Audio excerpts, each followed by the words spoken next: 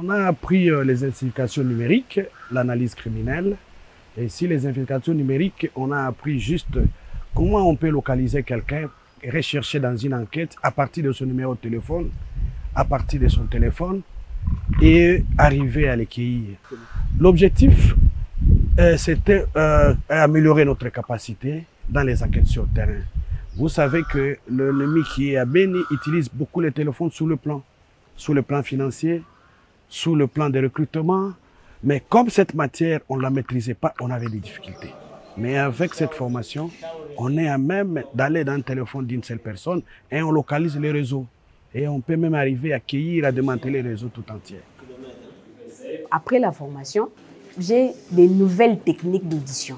Parce qu'avant, j'auditionnais, je pose la question, je ne regarde même pas l'inculpé. J'étais pressé seulement à la réponse du monsieur. Mais présentement, là, je pourrais poser la question et j'attends aussi la réponse tout en, en, suivant le, le, geste de l'inculpé, soit du plaignant. En tout cas, c'est vraiment avantageux. C'est vraiment quelque chose qui est de bon pour nous. Avec la formation ici, nous sommes à même de le faire, ici chez nous, parce qu'on pensait que c'était un miracle.